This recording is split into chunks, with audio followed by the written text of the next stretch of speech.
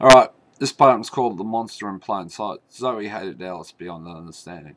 She wanted to destroy every part of Alice's life, so Alice would never get in her way again.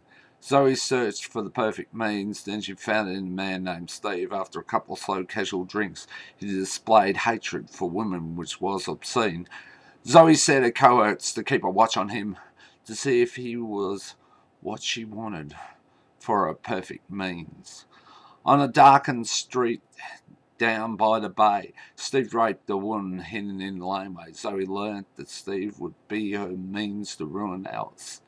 Zoe and her cohorts recruited Alice and began his training. They taught him how to speak when Alice was around. They taught him what to say when Alice was in town. They trained him how to act whenever Alice was about. Then they spiked her drinks to heighten Steve's deception. Zoe and her cohorts began to drive away all Alice's friends, followed by Zoe stealing Alice's workplace and occupation. Alice vanished from the world and no one even asked. Zoe and her cohorts drugged Alice and gave her to Steve in a house out in the suburbs where he raped her every night. As Zoe and her cohorts bled away Alice's finances. Zoe hated Alice beyond understanding because people liked Alice. And that was enough reason to destroy her life.